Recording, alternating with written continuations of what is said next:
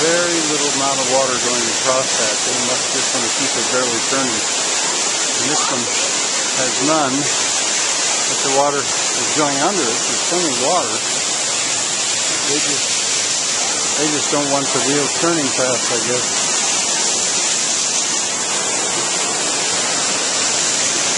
They're letting the water come down too. That, that, those are kids are throwing rocks on it. So this is a pitchback wheel. This is like the one I just saw this morning in Osterberg. Uh, well, this is a little bit smaller than the one I saw, but it's pitchback, meaning it's turning upward toward the hill. So three, three water wheels in this complex. This one maybe is for a sawmill. Yes, we're going to have to look. There are the logs. The bark has been stripped off. Uh, some circular saws, I guess they would work with that water wheel because they're not real big. But what did most of the sawing was that up and down saw. And there's a chance to look at how they clamp the log. I'm going to have to make something like this because I'm going to make an up and down sawmill. There's a sash that runs up and down. Now in this case on a bar, on a uh, rod, or a shaft I should say, on two shafts. And it's on metal metal track. And there is the there is the clamp.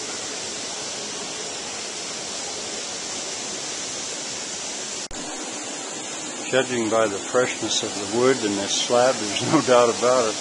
They've been running this recently, maybe today. That clamp really deserves some study. That out of a car jack, that part. I'd love to see this run. We're going to go down and take another look at that wheel now with this in mind.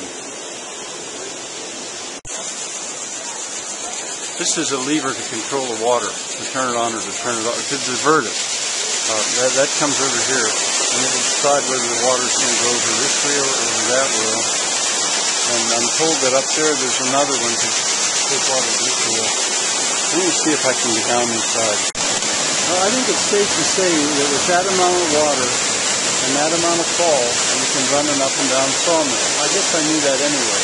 The circular saw is another matter. I don't know what this is to. I'll go find out. Okay. All right, this is underneath, and this is all being operated very slowly. Uh, it's slipping. There's a slip clutch up there, so that shaft isn't turning.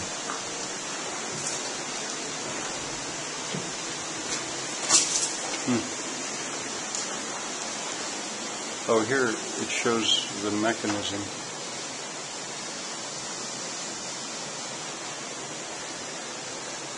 Looks like it's a way to make it go fast.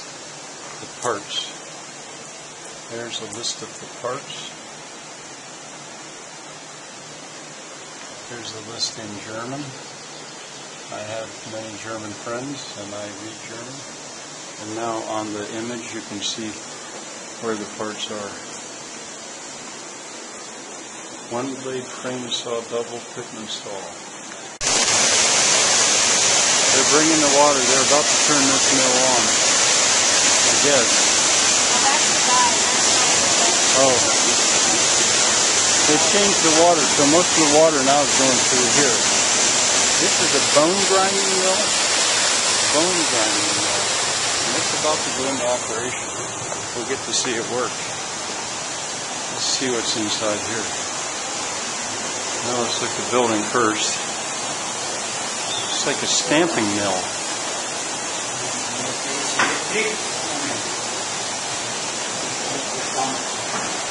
stamping mill.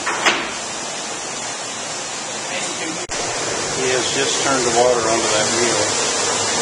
And now driving this stuff smooth. He's so. He's going to throw the belt over onto the drive. It's on a clutch belt.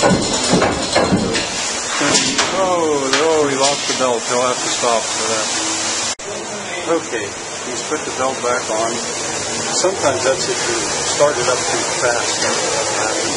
The belt, flat belt, jump.